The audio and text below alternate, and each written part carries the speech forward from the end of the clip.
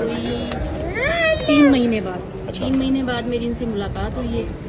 और अफसोस ही कर सकते हैं और क्या कर सकते हैं। ये कोटों के धक्के में अपने बच्चे के साथ बच्चे से पहले मैं खाती आई हूँ क्योंकि एक इंसान पाकिस्तान के लिए आवाम के लिए लोगों के लिए खड़ा हुआ है। लेकिन उसके साथ एक इन लोगों ने कोटों को लॉ को कानून को इन्होंने एक मज़ाक बना के रखा हुआ है। आप सब देखते हैं सब मीडिया वाले गवाह हैं कि किस तरह से उनको यहाँ से बेल मिलती है। दो सीढ़ियाँ उतरते हैं वहाँ पुलिस खड़ी भी होती है। चलो भाई अंदर। तो ये करते रहे। अल्लाह की लाठी बेवाज है इंशाल्लाह। सियासत में तो मैम ऐसा होता है तो पहले भी हो रहा था बिल्कुल होता है इसलिए तो हम खड़े हुए हैं। हम डट के खड़े रहेंगे और खड़े में ये कोटे ये जेल ये सब कुछ ये देख चुके हैं। आगे भी देखना पड़ेगा मुल्क के लिए तो देखते रहेंगे।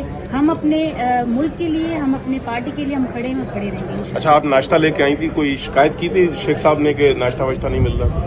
बिल्कुल की थी शिकायत और उनको कह रहे हैं कि खोली में रखा हुआ है, जो कि एक रखते हैं जिस तरह से खोली में।